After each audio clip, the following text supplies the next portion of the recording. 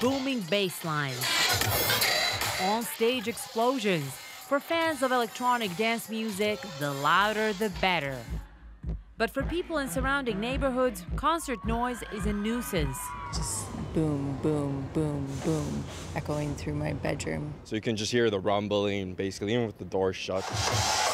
This is where Jeremy Bridge comes in. The Calgary engineer invented a technology that promises to keep loud music limited to concert venues. Kevin, turn it up a little bit more. Even if that venue is an open field. What we've done is we've put robotics in loudspeakers so that the loudspeaker can control the direction of sound. So if you see the loudspeaker behind us, this big sort of bar. The of big speakers. sort of bar of speakers is called Yeah. a line array. Mm-hmm. And the gray louvers uh, allow us to control sound in the horizontal plane. They allowed us to s- ma- st- make it more narrow or steer it left or steer it right. Uh, So the way I picture this is almost like a spotlight with a, the way the spotlight Yeah. controls the light. that's exactly right. It's like you're focusing the sound. Jeremy Bridge developed his speaker technology with a grant from the National Research Council of Canada. Initially, his speakers became a hit for their ability to deliver clean, clear sound directly towards the audience. He's helped the Broadway hit musical Hamilton achieve that audio oomph and provided a massive sound system needed for Mexico's Electric Daisy Carnival.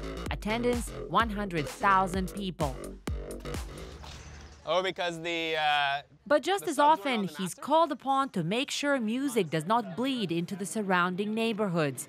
That's what brings him here to Kitchener, Ontario. We had 100 complaints, so that was the highest we've ever had for any any kind of event in the city. Last year, the noise from Ever After Music Festival attracted the ire of local residents, putting bylaw officers on high alert and Ever After's reputation on shaky ground. they brought in technology is specifically designed to be able to focus sound and keep it away from residential areas. So we had done a lot of pre-prediction. Yep. The day before the concert, Jeremy meets with the local authorities.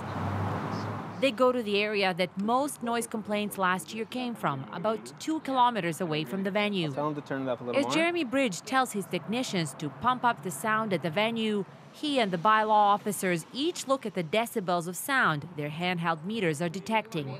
They're allowing for worst case scenarios like wind and rain, which can make sound travel in unpredictable patterns. I'm actually quite excited to see how this works. I've spoken with other municipalities that um, other promoters have used this technology in their city and it's been successful, so I'm hoping for the same outcome here.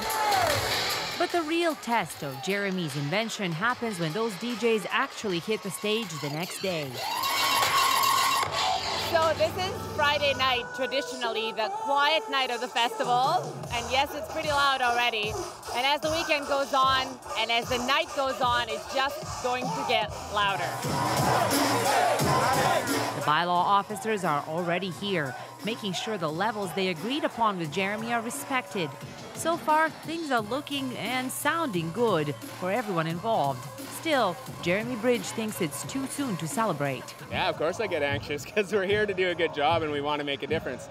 Like me, I personally want to make a difference because I come from music culture and I want it to continue to thrive and this is my way of helping to keep it thrive.